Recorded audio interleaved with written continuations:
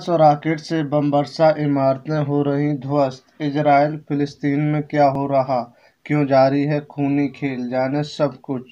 पूरी दुनिया में कोरोना वायरस के खिलाफ जंग जारी है, मगर एक जंग और है जो इजराइल और फिलिस्तीन के बीच चल रहा है।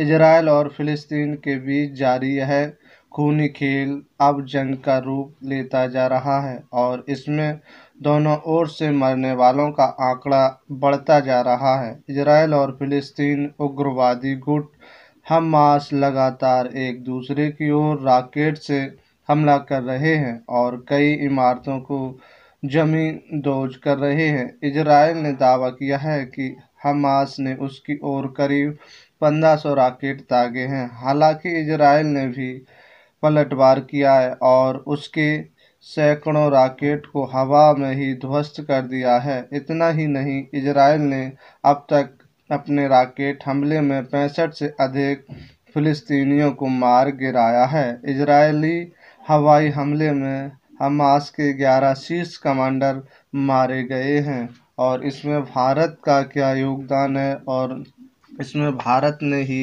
दोनों पक्षों को समझाते हुए कहा कि अभी युद्ध के हालात रोक दिए जाएँ।